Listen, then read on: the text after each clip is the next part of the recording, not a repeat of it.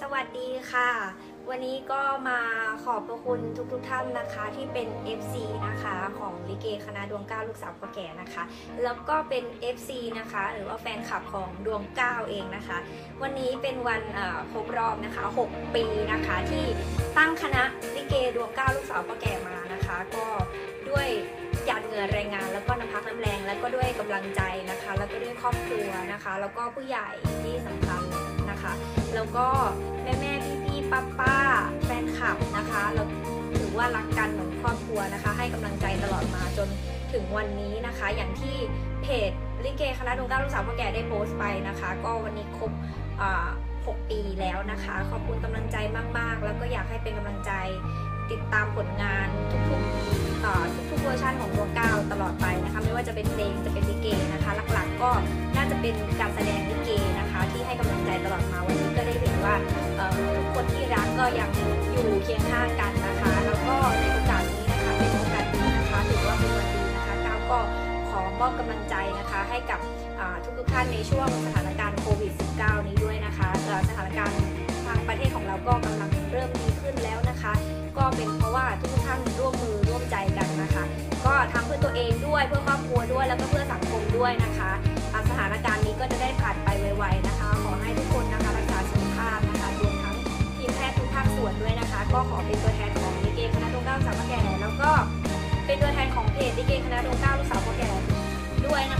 คะ เก้าสาวพระแก่ เพราะว่าสถานการณ์ในช่วงนี้น่าจะเป็น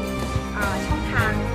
หนึ่งเลยหลักๆนะคะของของเก้านะคะ ที่จะสามารถเข้าชมการแสดงเกนะคะ แบบจบเรื่องแบบเต็มเรื่องหรือว่าแบบเป็นตอนๆนะคะ ก็เข้าชมได้ที่ YouTube นะคะ หรือว่าเขาก็จะแชร์มาที่เพจ YouTube ลิเกคณะ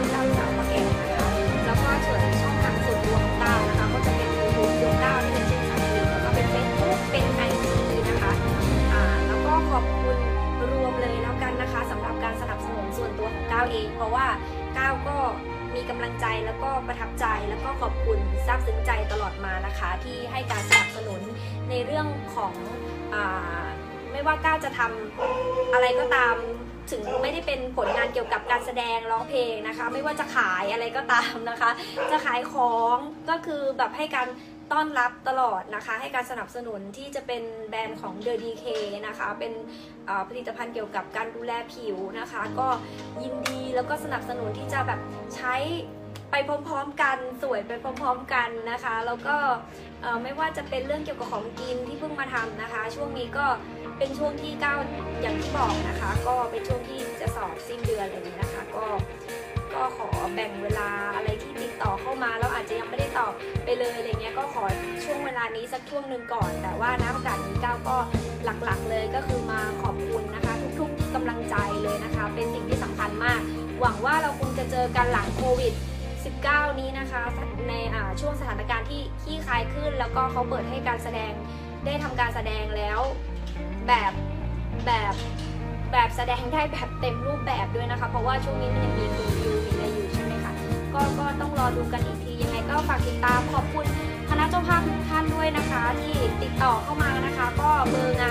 าน แจ้งสถานที่มาจองคิวไว้ก่อนทำสัญญาไว้ก่อน เพราะว่าสำหรับบางท่านที่ยังไม่ทราบว่า ถ้าจองไว้ก่อนแล้วเดี๋ยวถ้าเกิดโควิดยังไม่ไปมันจะต้องเลื่อนไปอีก แต่ส่วนใหญ่นะคะก้าวก็ขอแนะนำว่าส่วนใหญ่